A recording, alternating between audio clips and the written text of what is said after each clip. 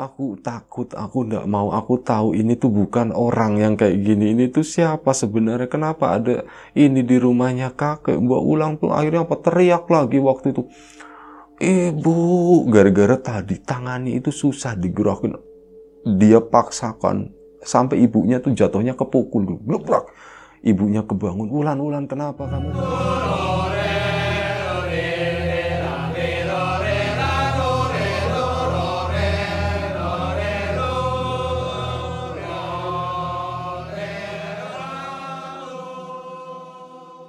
Satu cerita datang dari Mbak Ulan di Temanggung tentang sebuah kejadian waktu itu berhubungan dengan meninggalnya sang kakek. Jadi waktu itu Mbak Ulan entah kenapa waktu masih kecil dia begitu takutnya saat diajak main ke rumah kakeknya sampai di usia tertentu Awalnya sih biasa-biasa aja, cuman entah usia 5 atau 6 tahun, Mbak Ulan itu saat ayo main yuk ke rumah kakek. Enggak, ah, enggak mau, enggak mau. Pasti dia itu akan merasa ketakutan. Waktu itu belum terjawab, Mbak Ulan juga belum ngerti kenapa dia merasa ketakutan. Memang ada sesuatu yang pernah terjadi waktu itu, tapi namanya anak kecil, dia kan belum bisa mencerna sesuatu secara sempurna gitu ya. Kadang orang dewasa itu juga belum tentu sempurna gitu ya. Tapi inilah yang dihadapi sama Mbak Wulan. Dia itu benar-benar ketakutan saat diajak ke rumah simbahnya. Yang jelas pernah terjadi sesuatu di sana. Nah, sebelum kita lebih jauh ke dalam cerita, seperti biasa gue pengen ngucapin banyak-banyak terima kasih buat kawan-kawan subscriber semuanya Terima kasih buat kawan-kawan yang udah kasih support, udah kasih dukungan. Terima kasih juga buat kawan-kawan yang udah ngasih like, udah nge-share ke yang lainnya. Gak lupa juga terima kasih banyak buat kawan-kawan yang udah ninggalin komentar. Juga kawan-kawan yang udah join jadi membershipnya Lapak Horror serta kawan-kawan yang udah ngasih support dalam bentuk super thanks ke lapak horror. Terima kasih banyak semuanya. Semoga itu nanti dikembalikan ke kawan-kawan semuanya menjadi sesuatu yang lebih bermanfaat, sesuatu yang lebih besar, sesuatu yang lebih berarti nantinya. Amin. Baik, kita balik ke ceritanya Mbak Wulan. Mbak Wulan itu lahir di tahun 80-an waktu itu di usia kelima atau enam tahun, seingatnya Mbak Wulan, dia itu benar-benar takut. Dia itu paling gak suka kalau diajak main ke rumah kakeknya. Rumah kakeknya sama rumahnya Mbak Wulan waktu itu masih dalam satu kota, jaraknya mungkin kurang lebih sekitar 2 kilometer. Dulu waktu kecil sering banget main ke sana, tapi itu tadi di usia segitu dia itu udah bener-bener nggak mau. Waktu itu waktu kecil dia nggak ngerti apa yang sebenarnya terjadi ya. Ada satu penyebab di sana. Kenapa Mbak Wulan itu nggak berani atau bener-bener takut saat diajak ke sana? Nah, setelah besar, diingat-ingat, coba dicerna, coba dipahami, akhirnya Mbak Wulan pun mengerti. Jadi waktu kecil, Mbak Wulan itu pernah ngelihat, pernah dikasih lihat satu sosok. Sosok yang gemuk, gak terlalu tinggi. Tingginya mungkin kalau diperkirakan sekarang ya, sekitar 120 atau 130 cm. Gemuk, gede, orang tua. Pakai bajunya tuh baju lama, atasnya tuh buka baju. Cuman di bawahnya aja tuh pakai kain-kain seperti itu. Mbak Wulan sewaktu kecil ceritanya ini di rumah kakeknya ya waktu itu. Ceritanya lagi main sendirilah, muter-muter ke sana kemari ke depan ke belakang ke depan ke belakang. Waktu itu udah malam, malamnya jam berapa ndak tahu, tapi karena masih ramai di sana, kakek neneknya masih melek, bapak ibunya Mbak Ulan juga masih melek, kerabat yang lain juga masih ramai ngumpul di ruang tengah sana. Waktu itu memang Mbak Ulan tinggalnya udah nggak di situ ya. Biasanya setelah itu agak malaman sedikit, Mbak Ulan itu akan dibawa pulang ke rumahnya. Nah, waktu itu lagi main-main di sana, lagi senang-senangnya, Mbak Ulan itu ke belakang dia ke belakang di belakang itu ada satu ruangan yang di dalamnya itu kosong, tidak ada apa-apanya, bukan gudang, bukan apa, nggak ada pintunya juga, kosong. Nah, di depan ruangan tersebut itu ada tanaman hidup, beberapa buah tanaman, nggak ngerti tanaman apa juga waktu itu, nggak terlalu tinggi lah, mungkin tingginya sekitar satu meter.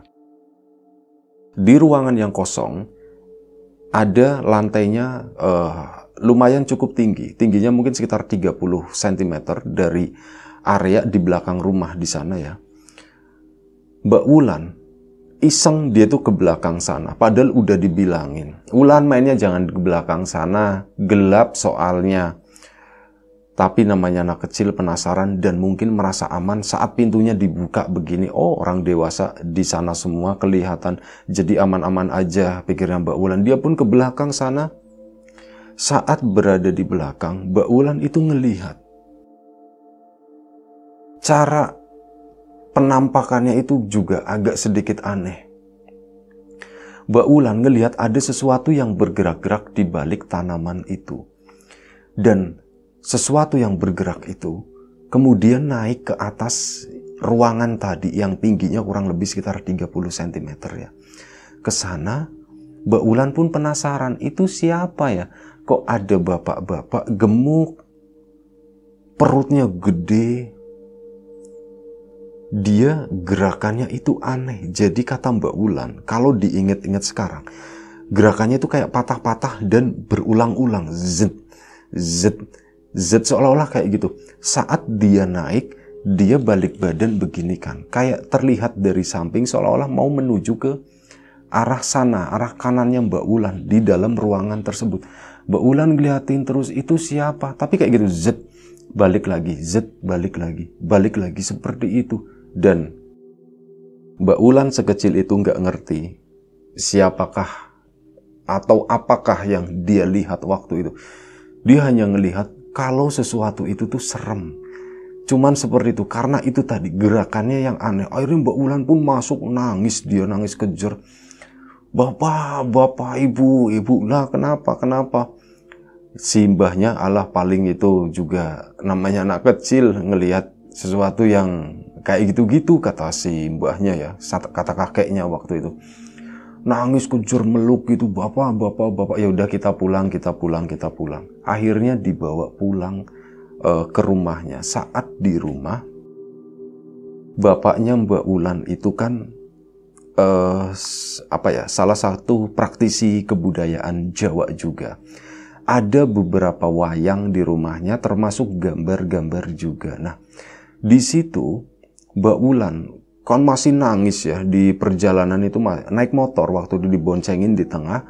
Itu masih nangis bapak bapak aku habis ngelihat setan aku habis ngelihat setan katanya seperti itu. Ya ya udah ndak apa-apa ndak apa-apa. Ya, makanya ini pulang nih pulang di rumah udah ndak ada setan. Begitu sampai ke rumah udah tenang dong namanya anak kecil. Oh iya aku udah tenang. Aku nggak mau lagi ke rumahnya kakek pokoknya. Aku nggak mau di sana itu ada setannya katanya seperti itu. Dia pun masuk ke sana masuk ke dalam. Begitu ngelihat wayang entah wayang atau entah lukisan yang di dinding ya. Mbak Wulan juga agak-agak lupa waktu itu dia ngelihat ke sana langsung kejar lagi nangis. Loh kamu kenapa? Kamu kenapa? Nak ditanya sama bapaknya, kok kamu masih nangis-nangis begini? Kita udah pulang. Kamu tenang, kenapa? Kenapa? Ada apa? Pak itu, pak setannya kayak gitu, setannya kayak gitu, kata si Mbak Wulan. Jadi nunjuk. Ada gambar yang mungkin dikenal sama kawan-kawan semuanya itu sebagai gambar Kisemar ya dengan perut e, besarnya satu tokoh pewayangan yang terkenal akan ilmunya, akan kebijakannya, katanya seperti itu. Dianggap sama Mbak Wulan kayak gitu ditunjuk-tunjuk itu setannya itu setannya itu kata Mbak Wulan. Bapaknya di sana pun mulai berpikir serius waktu itu. Ngomong sama ibunya, Bu ini tuh kayaknya agak lumayan serius kata bapaknya. Kenapa pak? Kenapa pak? Berarti mungkin ini Wulan itu ngelihat ngelihat Ki Semar ada di sana di rumahnya kakek, di rumahnya bapak waktu itu. Lah Pak aku ndak ikut ikutan kalau masalah kayak gitu Pak aku ndak ngerti soalnya iya ya sudah udah ndak apa-apa lah ndak apa. Pak aku ndak mau itu aku ndak mau lihat itu aku ndak mau lihat itu. Akhirnya apa? Bapaknya pun nurut namanya anak kecil gitu ya kalau nggak diturutin kan nangis terus apalagi itu udah lumayan malam nggak enak sama tetangga juga akhirnya wayangnya pun diambil gambarnya pun diambil ditaruh di belakang sana nah semenjak hari semenjak saat itu setelah dipindahkan Mbak Wulan pun udah mulai agak sedikit tenang udah ya sesenggukan gitu doang dikasih minum ya udah nak kita tidur ya nak kita tidur Mbak Wulan pun tidur di sana. Nah, tengah malam Mbak Wulan itu kebangun gara-gara dia itu bermimpi. Atau mungkin saat ini lebih tepatnya dia tuh kayak berhalusinasi gara-gara Mbak Wulan itu demam. Demam tinggi, dia kebangun nangis waktu itu orang tuanya juga nggak nyadar waktu Mbak, Wulan demam ya karena sama-sama tertidur semuanya. Mbak Wulan bangun begini, dia seolah-olah ngelihat sosok Semar tadi lagi berjalan di kamarnya di sana lagi berdiri tapi yang ngelihatnya tuh kayak dari samping wujudnya itu kayak ada kulitnya kayak orang bukan wujud kayak wayang seperti itu tuh enggak ya. Tapi kayak orang kata Mbak Wulan seingat dia sosok itu sosok yang gemuk.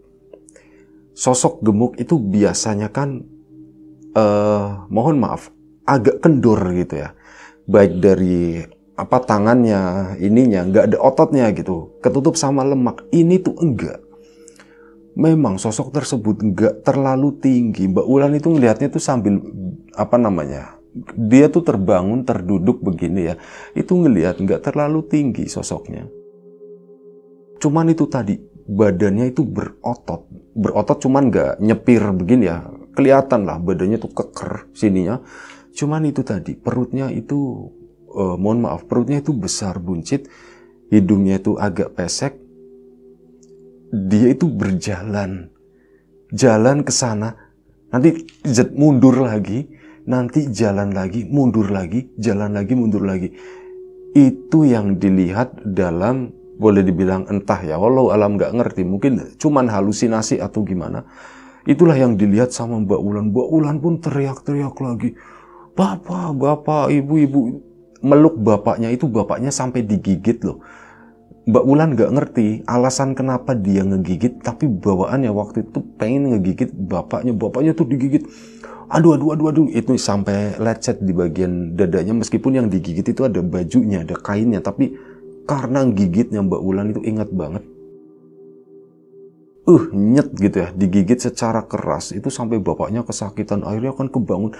Nak, nak, kamu kenapa Wulan? Kamu kenapa Wulan? Kamu Ya Allah panas banget, panas banget kata bapaknya. Pak ini kenapa pak? Nggak tahu ini Wulan demam, Wulan demam. Pak itu, pak itu, pak nunjuk-nunjuk ke sana ya bapaknya nggak ngeliat apa-apa waktu itu. Pak itu yang ada di rumahnya kakek, pak yang ada di rumahnya kakek ketakutan sih mbak ibunya ke belakang ambil air dingin ya e, dikompres zaman dulu kan e, karena nggak sedia obat penurun panas waktu itu iklannya belum keluar mungkin ya di sana ditenangin udah kamu tenang dikompres waktu itu sekitar 5-10 menit kemudian Mbak Ulan pun kembali tenang waktu itu. Ditanyain sama bapaknya kenapa nak? Kamu lihat apa nak? Pak itu pak yang di rumahnya kakek itu ke sini kata si Mbak Ulan loh yang mana yang mana? Itu pak yang perutnya besar gitu. Bapaknya di situ langsung Mbak Wulan ngelihat obrolan antara bapak sama ibunya gitu diperhatiin. Bapaknya tuh seolah-olah kayak ngomong itu oh Kisemar Kisemar mungkin seperti itu ya yang diomongin Mbak Wulan pun ya masih dengan ketakutan tadi masih terngiang-ngiang masih terbayang-bayang Sampai akhirnya bapaknya udah, Wulan kamu tidur, bapak jagain, bapak temenin, bapak ndak tidur. Mbak Wulan pun akhirnya tertidur, badan itu udah mulai sedikit agak adem. Dia pun bisa tidur sampai pagi waktu itu. Sakitnya masih sakit seperti biasa sampai akhirnya dua hari kemudian. Jadi malam harinya selalu ditemenin sama bapaknya. Pokoknya bapaknya sama ibunya itu mereka kayak bergantian mungkin ada sesuatu yang disadari sama keduanya ya. Mbak Ulan itu tidurnya itu selalu dijagain. Kalau bapaknya tidur, ibunya melek, ibunya tidur, bapaknya yang melek. Dibawa ke dokter ke sana, ya didiagnosa ya penyakitnya memang penyakit medis gitu ya. Dikasih obat segala macam, kondisinya pun makin membaik, makin membaik, makin membaik. Semenjak hari itu, Mbak Wulan itu udah ndak mau diajak lagi ke rumah kakeknya. Aku ndak mau ke rumahnya kakek. Jadi selama beberapa tahun ya sampai sekolah SD kelas berapa kelas 4 itu bener-bener ndak mau. Kakeknya yang akhirnya nyamperin ke situ kan gantian. Karena anak ini kakeknya pun sepertinya mengerti udah ndak apa-apa ndak usah dipaksain. Mungkin dia takut mungkin dia belum kenal mungkin dia belum tahu belum mengerti apa yang pernah dilihatnya kata kakeknya. Udah ndak apa-apa biarin aja. Sampai akhirnya di usia SMP mungkin SMP kelas 2 kakeknya tuh sakit-sakitan. Dan akhirnya kakeknya meninggal. Mbak Wulan pun mau gimana lagi ya? Sebenarnya sedih gitu. Sama kakeknya tuh nggak ada masalah sama sekali. Nggak ada benci nggak ada gimana enggak. Cuman takut aja di rumah kakeknya. Nah SMP kakeknya meninggal mau nggak mau. Waktu itu SMP nalarnya kan mungkin udah mulai bisa dipakai ya. Mbak Wulan pun ya itu kakekku meskipun aku takut takut yang sebenarnya sama Mbak Ulan itu disadari, mulai disadari. Takutku tuh nggak ada alasan sama sekali bisa jadi aku berhalusinasi. Aku berhayal atau apa waktu itu. Udah mulai nyerang dirinya sendiri dengan ya hal-hal seperti itu ya. Aku yang salah, aku pasti salah lihat, aku pasti begini. Itu tuh nggak ada gitu pikirnya Mbak Wulan. Sampai akhirnya Mbak Wulan pun datang ke sana, ke rumah kakeknya saat datang pun Mbak Wulan itu cuman benar-benar berada di luar. Dia nggak mau masuk, dia nggak mau nengokin kakeknya kurang lebih sekitar satu jam. Dia cuman di luar sana ya ditemenin sama apa namanya orang-orang yang takziah di situ. Mereka juga tahu cerita tentang Mbak Wulan tadi. Oh ini dia anak nggak mau masuk ke sana katanya dulu itu pernah ngeliat di Semar di sini jadi ketakutan Ya udah, Mbak Wulan bertahan di sana kurang lebih sekitar satu jam sampai akhirnya tuh begini. E, kakeknya udah dipersiapkan semuanya ya, udah dimandikan dan yang lainnya. Akhirnya kan e, bagi keluarga yang mau melihat mungkin untuk terakhir kalinya dipersilahkan. Mbak Wulan itu ada keinginan banget. Aku sayang sama kakek. Aku sedih kakek meninggal dan aku tuh pengen ngelihat untuk yang terakhir kalinya tapi kok aku takut gitu aku takut masuk rumah ini gitu. Itulah keanehan yang dialami sama Mbak Ulan. Batinnya tuh bergejolak. Aku takut di sini tapi apa yang aku takutkan gitu. Banyak orang juga. Bapak ibuku di dalam sana kakekku meninggal harusnya tuh aku melihat. Akhirnya dipaksa-paksain sama Mbak Ulan. Dia pun berani melangkah ke dalam rumah kakeknya ya nggak terjadi apa-apa. Semuanya oh iya baik-baik aja ya. Apa namanya uh, aman-aman aja. Rame banyak orang di situ. Ngeliatin ke atas segala macem. Udah berapa tahun aku nggak masuk ke rumah ini. Sedih juga. Giliran aku masuk ke sini kakek meninggal gitu. Harusnya ya harusnya kalau tahu begini aku habiskan banyak waktu sama kakekku kok malah aku bermain-main dalam ketakutan seperti yang kemarin-kemarin gitu. Di situ mulai tenang, Mbak Ulan pun mulai tenang, mulai percaya, mulai timbul satu kepercayaan. Aku baik-baik aja, nggak ada apa-apa yang terjadi. Ke sana nengokin uh, apa namanya jenazah kakeknya gitu untuk terakhir. Kakek, Ulan minta maaf ya kakek karena ndak bisa nemenin kakek berlama-lama gitu. Giliran datang ke sini kakeknya udah mau pergi bilang kayak gitu sambil nangis sesenggukan kayak gitu sampai akhirnya udah ditutup lagi semuanya. Di sana Mbak Ulan itu udah bener-bener lupa dengan ketakutannya tadi. Rasa sedih itu lebih menguasai Mbak Ulan nangis di sana sama ibunya waktu itu ditemenin. Jenazah pun siap diberangkatkan. Akhirnya singkat cerita aja kakeknya Mbak Ulan pun dimakamkan. Mbak Ulan ikut ke makam juga balik lagi ke rumah kakeknya di sana.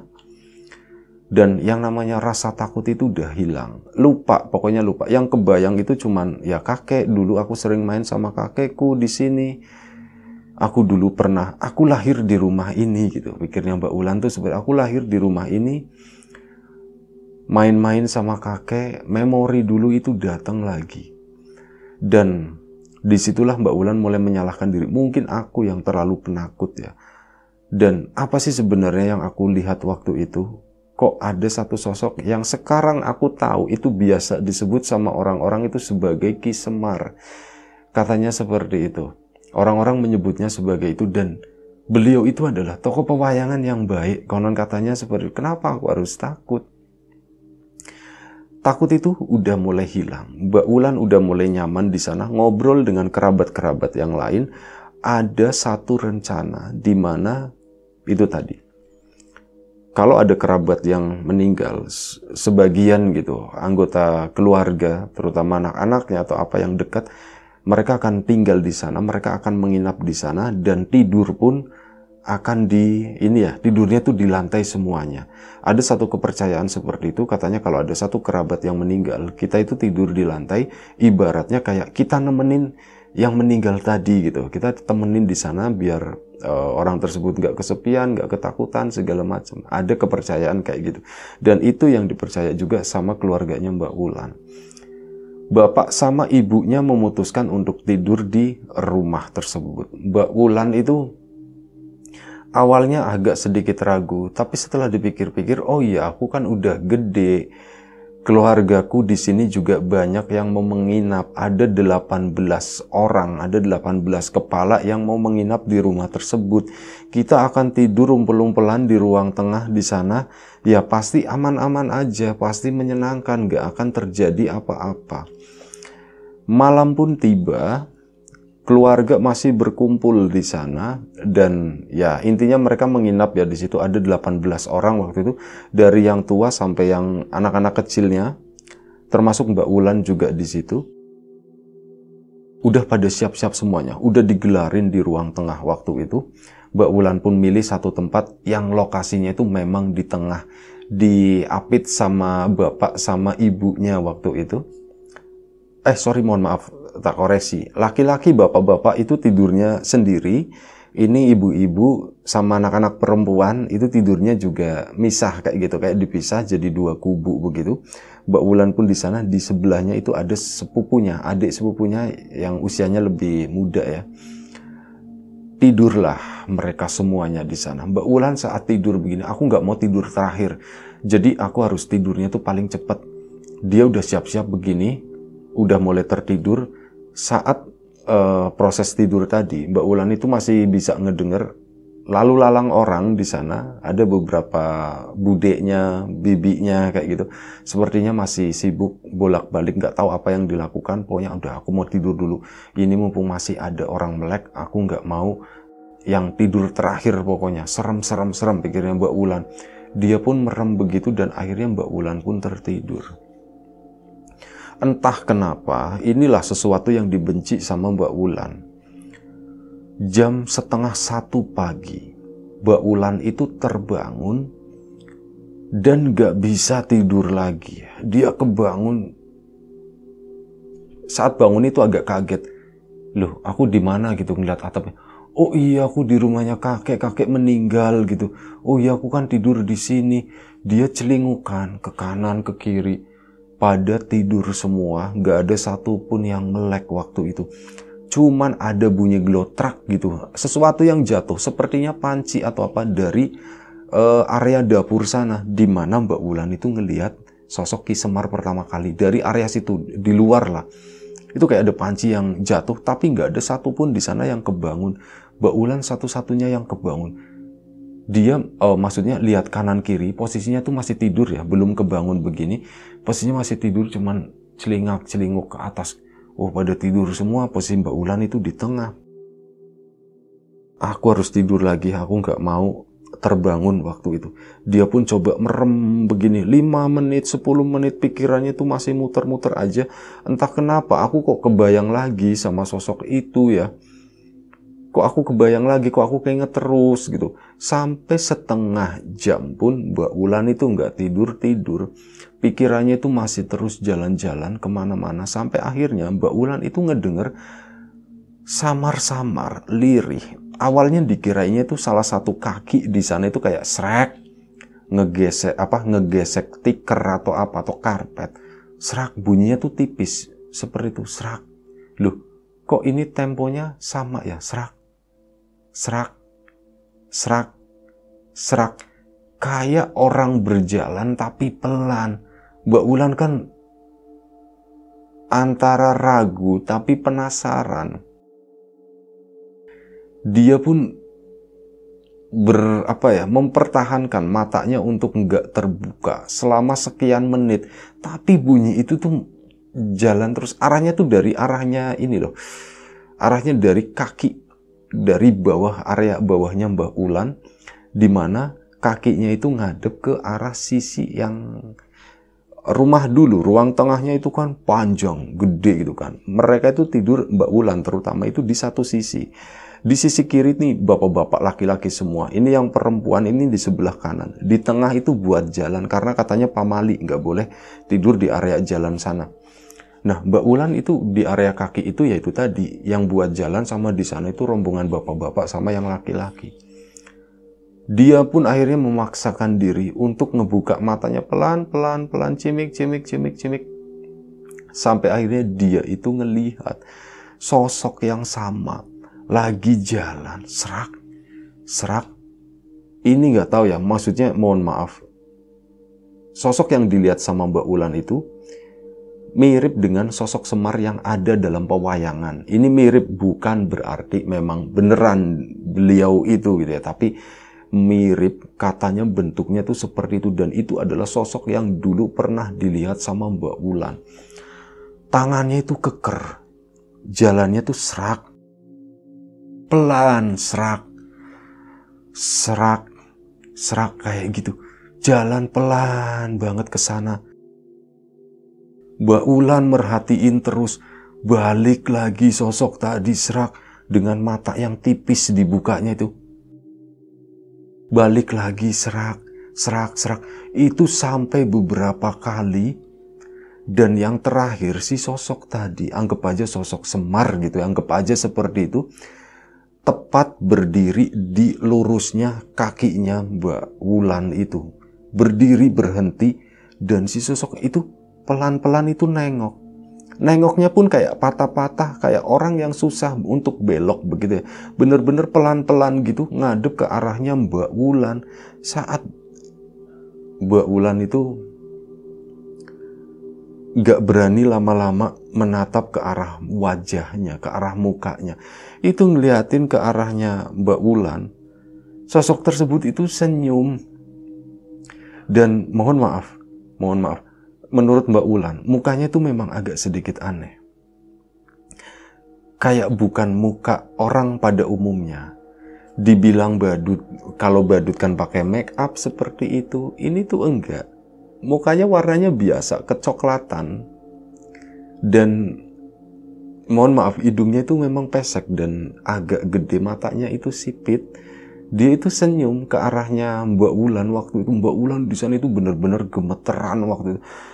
Aku takut, aku nggak mau, aku tahu ini tuh bukan orang yang kayak gini. Ini tuh siapa sebenarnya? Kenapa ada ini di rumahnya kakek? Mbak Ulang tuh akhirnya apa teriak lagi waktu itu Ibu, gara-gara tadi tangannya itu susah digerakin. Dia paksakan sampai ibunya tuh jatuhnya kepukul. Gebrak. Ibunya kebangun. Ulan, Ulan, kenapa? Kamu kenapa? Bu, bu, bu, bu. Sambil merem gitu ya. Bu, bu, kamu kenapa? Kamu kenapa, nak? Kamu yang lain kan pada kebangun semuanya.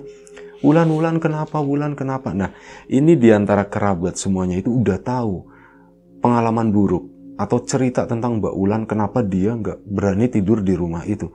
Dan malam itu semuanya kan jadi tegang. Ulan Ulan kenapa? Ulan kenapa? Bu itu datang lagi Bu itu datang lagi kata si Mbak Ulan itu siapa? Itu siapa? Aku ngeliat Ki Semar Bu. Aku ngeliat Ki Semar itu jalan di sana jalan di sana. Sekarang masih ada nggak? Ada yang nanya begitu. Ya Mbak Ulan nggak mau. Nggak tahu aku nggak tahu aku nggak tahu. Sampai akhirnya Simbah yang neneknya Mbak Ulan, Simbah perempuan, neneknya Mbak Ulan pun kebangun juga. Iki ene ngopo Ulan katanya. Ngopo nduk? Mbak Ulan pun masih nangis di sana. Nah, simbahnya pun ngedeket ke situ. Si Mbak Ulan itu dipeluk. Gini, wis nduk, ndak popo, ndak popo. Ki Semar iku rajahat, katanya begitu si Mbak. Iya mbak, tapi aku takut, aku takut mbak. Wis, nggak usah takut, nggak usah takut. Dia cuman, ya cuman mondar mandir ke sini. Dia itu jagain kamu, dok. Kata si neneknya seperti Mbak Ulan kan ya ndak ngerti jagain apaan orang serem kata Mbak Ulan. Udah ndak usah dipikirin. Dah, tak cerita ke, tak cerita ke. Jadi ngene Iku sing apa itu yang pakai bahasa Indonesia aja ya. Itu yang kamu lihat, yang sering kamu lihat itu memang udah ada dari dulu di sini dari zamannya Mbah Buyutmu. Ya, anggap aja dia itu yang ngejagain rumah ini. Kakekmu itu dari dulu banyak dapat serangan santet kata simbahnya. Jam satu pagi ngedengerin nenek cerita, ceritanya cerita seperti itu, menurut Mbak Ulan itu syahdu banget. Ini bener-bener mencekamnya itu udah bener-bener puncak waktu itu katanya. Dulu kakekmu itu sering kena, sering disantet. Tapi yo, Alhamdulillah, ndak pernah kena, ndak pernah kena, nggak pernah mempan. Lah iku ada yang jagain katanya. Yang jagain ya iku Siki Semar iku.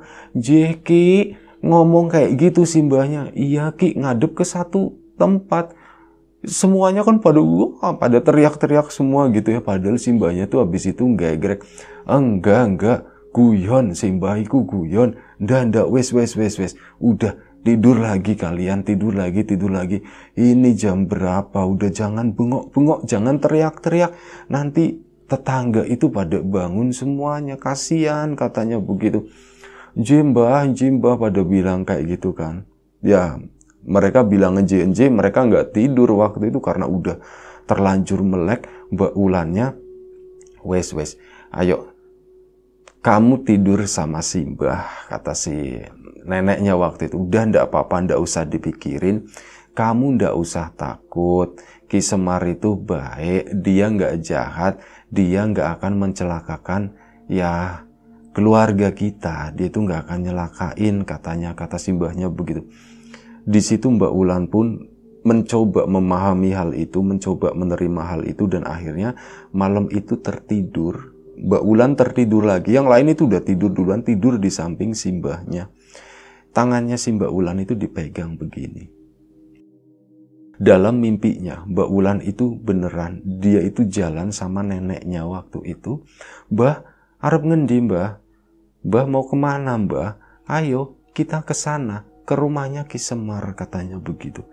Mbak Ulan dalam mimpi itu ndak takut. Oh iya mbah ya, ikut dia ke sana dan di situ gubuk, ada gubuk kecil, ada kakeknya Mbak Ulan duduk di sana sama satu sosok yang itu tadi yang dilihat sama Mbak Ulan yang mirip Ki Semar itu. Mbak Ulan pun ke sana, ya cuman berdiri aja di situ dan terlihat kakeknya sama si sosok tadi itu lagi ngobrol dengan akrabnya sampai si Ki Semar itu bilang, "Iku putumu tau," katanya. Iyo iku putuku, wah ayu yo, cah ayu, rene rene cah ayu. Dipanggil seperti itu Mbak Ulan pun mendekat ke sana. Setelah itu Mbak Ulan kebangun. Dan saat kebangun Mbak Ulan itu cuma bisa nangis. Dia rindu sama kakeknya waktu itu. Kayak kok aku melihat dalam mimpiku kakek itu bersih banget. Kakek itu sepertinya bahagia. Dan aku satu hal lagi, sosok yang dikenal dengan nama Ki Semar atau dikenal sama Mbak Ulan setidaknya, ternyata sosok itu tuh baik. Dia merasakan kelembutan, merasakan ketenangan, dan ya sudah semenjak hari itu dia kebangun, yang namanya rasa takut itu hilang, hilang begitu aja. Dan saat Mbak Ulan kebangun begitu, neneknya pun kebangun. Neneknya cuma senyum ke Mbak Ulan. Habis itu tidur lagi. Neneknya juga nangis sama-sama. Ternyata di sudut matanya itu tuh ada air. Begini Mbak Ulan pun malam itu, mulai malam itu dia bisa tertidur dengan tenang merem begini air matanya biarin aja nggak aku elap aku rindu sama kakek yang jelas seperti malam itu terlelap terlelap Mbak Ulan dan semuanya pagi-paginya bangun dengan suasana yang berbeda katanya bener-bener udah aku udah nggak memikirkan yang namanya takut segala macam justru aku malah ingin bertemu lagi dengan sosok yang Ki Semar tadi. Tapi sampai sekarang sosok itu tuh udah nggak pernah nemuin Mbak Wulan. Udah itu aja satu cerita dari Mbak Bulan di Temanggung tadi ya kalau nggak salah. Mohon maaf Mbak Bulan kalau misal bawain ceritanya nggak sempurna, ada yang kurang-kurang. Kawan-kawan di rumah juga mohon maaf kalau misal ada kesalahpahaman segala macam karena minimnya ilmu budaya, ilmu sejarah, ilmu pewayangan yang narator miliki, mohon dimaafkan uh, kita ambil sesuatu yang positif aja. Kalau ada sesuatu yang negatif kita buang jauh-jauh. Doa terbaik dari kami untuk kawan-kawan semuanya. Semoga diberi kemudahan dalam hal apa pun termasuk kemudahan dalam hal rezeki. Siapa pun sekarang yang lagi sakit semoga segera diberi kesembuhan. Siapa pun sekarang yang masih sehat semoga tetap dijaga kesehatannya. Sampai jumpa di episode selanjutnya lapak horor. Sekali lagi mohon maaf. Jaga kesehatan kawan-kawan semuanya. Assalamualaikum warahmatullahi wabarakatuh.